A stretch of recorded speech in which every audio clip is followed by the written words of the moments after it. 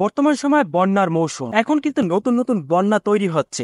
আর কখন কোথায় বন্যা হবে, কোন অঞ্চলে বন্যা হবে, এটা কিন্তু জানা প্রত্যেকের জন্য খুবই জরুরি। তো আজকের ভিডিওতে আমি দেখাবো এই হাতের মোবাইলের মাধ্যমে আপনারা লাইভে কোন স্থানের আবহাওয়া কত ডিগ্রি হবে এবং নতুন বন্যাগুলো কোথায় উৎপত্তি হইতে আছে এবং উৎপত্তি হওয়ার পর কোন অঞ্চল দিয়ে সেই বন্যাটির প্রভাব পড়বে? আর এটা কিন্তু আপনারা সরাসরি স্যাটেলাইটের মাধ্যমেই দেখতে পারবেন যে বন্যাটা কীভাবে তৈরি হচ্ছে। সেই জন্য অবশ্যই পুরো দেখবেন এবং আমার চ্যানেল নতুন হয়ে থাকলে অবশ্যই চ্যানেলটা সাবস্ক্রাইব করে রাখবেন। তো এটা দেখার জন্য আমাদের একটা অ্যাপ্লিকেশন দরকার হবে, যেটা আমরা প্লে স্টোর অ্যাভেলেবেল পেয়ে যাব। সেক্ষেত্রে সরাসরি চলে যাব প্লে স্টোরে সার্চ অপশনে লিখব উইন ডে বানানটা আপনারা ভালোভাবে দেখে নিতে পারেন। তো লেখার পর সার্চ দিয়ে দেবো সার্চ দেওয়ার পর এখানে যে প্রথম যে অ্যাপ্লিকেশনটা আসবে, এই অ্যাপ্লিকেশনটা ইনস্টল করে নিতে হবে। আমি এটাকে ওপেন করে নেব।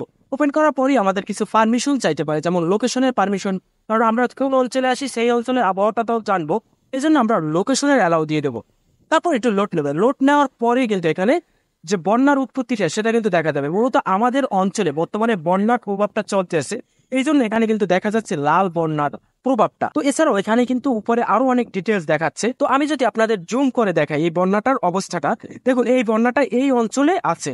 তো এখানে যে প্লে বাটনটা আছে, এই প্লে বাটনটার উপরে ক্লিক দিই। ক্লিক দেওয়ার পর এখন দেখা যাচ্ছে এই বন্যাটা কোথায় কোথায় যাওয়ার সম্ভাবনা আছে। দেখুন এখানে যে কুয়াকাটা আছে, কুয়াকাটা থেকে বন্যাটা একদম সরাসরি বাংলাদেশের যে রাজশাহী অঞ্চলটা আছে, সেই অঞ্চলে চলে যাব। একদম কিন্তু সরাসরি বোঝা যাচ্ছে যে বন্যাটা কোথা থেকে একদম কোথায় যাবেন তো এখান থেকে আমরা ধারণা নিতে পারি কোন কোন অঞ্চলে বন্যার প্রভাবটা পড়বে। তাছাড়াও এখানে এই যে ম্যাপটা, এই ম্যাপটা যদি আমরা জুম করি, জুম করার পর এখানে যে ছোট ছোট অঞ্চলগুলো, যেমন কলাপাড়া, তারপর বরিশাল, এছাড়াও যে ছোট ছোট অঞ্চলগুলো, সেই অঞ্চলগুলো আমরা কিন্তু দেখতে পারব যে কোন কোন অঞ্চলে কতটা প্রভাব পড়বে।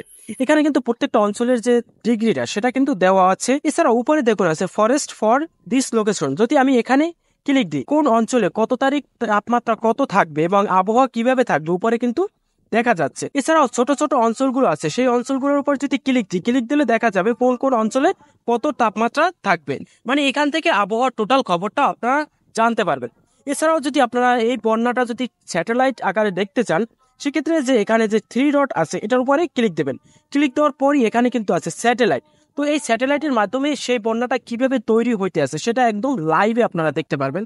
এছাড়াও যে নিচে আরও কয়েকটা অপশন আছে, দেখুন উইন তারপর গরম, উষ্ণতা মানে আপনি আরও কিছু অপশন পাবেন, যে অপশনের মাধ্যমে আপনার বন্যার প্রভাবটা বুঝতে সহজ হয়।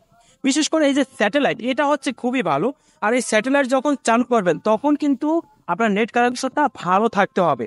তো এই স্যাটেলাইটের উপরে আমি ক্লিক দিলাম ক্লিক দেওয়ার পরেই এখন কিন্তু একদম স্যাটেলাইটের মাধ্যমে লাইভে দেখতে আসি যে বন্যাটা কীভাবে তৈরি হচ্ছে। দেখুন, এই যে সাদা সাদা আশেপাশে যে এই যেগুলো আছে, এগুলো হচ্ছে পানি। এই পানিগুলো কীভাবে বন্যার মতো ছড়াচ্ছে? মানে এই বন্যাটা পানির চাপটা অনেক বেশি থাকবে, সেটা কিন্তু আমরা বুঝতে পারতেছি। তো এখন বন্যা চলতেছে, বন্যার মৌসুম। অবশ্যই এই অ্যাপ্লিকেশনটা আপনারা ইনস্টল করে রাখবেন, তাহলে বুঝতে পারবেন যে আসলে আপনার বন্যাটা কতক্ষণ থাকবে এবং বন্যাটা কোথায় চলে গেছে এবং আবহাওয়া আরও কতদিন খারাপ থাকবে, কারও কাছে আপনার জিজ্ঞাসা করতে হবে না, শুধুমাত্র মোবাইলের মাধ্যমে আপনি জানতে পারবেন। এছাড়াও এখানে যদি বন্যাও না থাকে, বিভিন্ন তথ্য এখানে জানতে পারবেন যে কত সময় কত তাপমাত্রা থাকবে।